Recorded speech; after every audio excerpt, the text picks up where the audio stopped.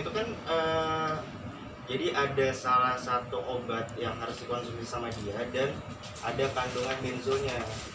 Nah, eh, makanya ini mau ditanya juga kan lebih lengkapnya gimana. Eh, Obat, obat itu apa sih? resep dokternya nggak sih? Ada Ada. resep dokter ada. Itu obat apa sih, Kak?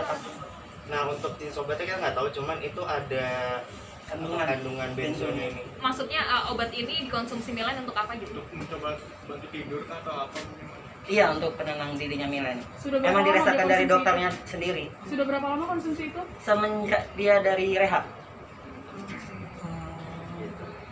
Jadi Mohon doanya juga ya. ya, Jam jam berapa mungkin kak semalam kak tepatnya?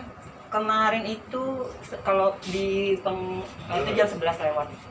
Tapi sampai ke sininya tuh jam 12 kurang. Mungkin tanggapan keluarga gimana kak setelah tahu dia di Keluarga sih nggak kaget karena kan emang ibaratnya keluarga tahu kalau dia emang konsumsi itu gitu. Cuman palingan eh, ini aja sih eh, apa palingan uh, shocknya cuman komenan orang-orang yang nggak tahu gitu aja. Sebagai kakaknya Milan mungkin sempat sh- eh, shock nggak sih dengan kejadian ini? Karena ini untuk kedua kalinya. turut gitu Iya.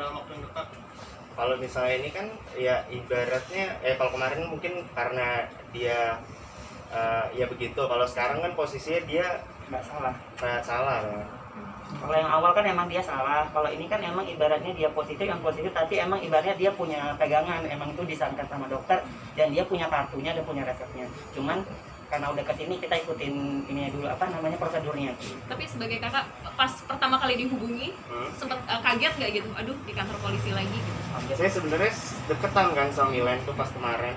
Jadi saya lagi di daerah situ juga di Al Azhar. Nah Milan di sana, saya nganterin ke sana.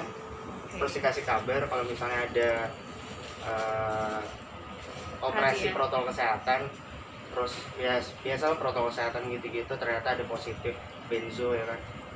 Jadi makanya langsung sini. Ini mau nanya juga sama dia karena dia belum bisa megang handphone juga kan buat kabar-kabaran. Tapi kondisi sejauh ini Alhamdulillah sehat baik-baik aja. Berarti sama siapa aja semalam Milen? Dia berdua nih. Berdua sama saya, cuman karena saya emang negatif, jadi saya boleh. Semalam saya di sini, tapi saya boleh pulang. Takut nggak semalam reaksinya gimana Milen pada saat diperiksa? Reaksinya biasa aja, biasa aja maksudnya gini karena emang itu anjuran dari dokter kan, bukan atas keinginan sendiri. Jadi berdasarkan resep itu makanya dikonsumsi. emang ada keluhan apa sih Milan selama ini kak? Nah itu yang tahu antara si Milen sama si Dokternya. dokter.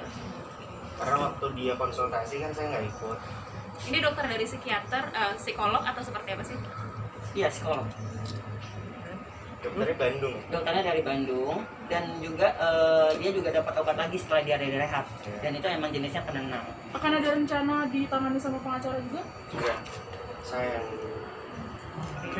Kak, mungkin eh, apa namanya eh, terlepas dari ini keluarga mungkin emang Milen nggak yang terbuka sama keluarga gitu sampai curhatnya sama dokter aja gitu ke keluarga dia terbuka kok kira sama saya karena kejadian kemarin kan. Terus juga saya sebagai kakak jadi eh, ibaratnya lebih aware lah sama dia biar jadi lebih baik. Nah makanya itu eh, sekarang ini saya yang ini. Gitu sih. Oke, siap kalau gitu. terima kasih. Namanya kak?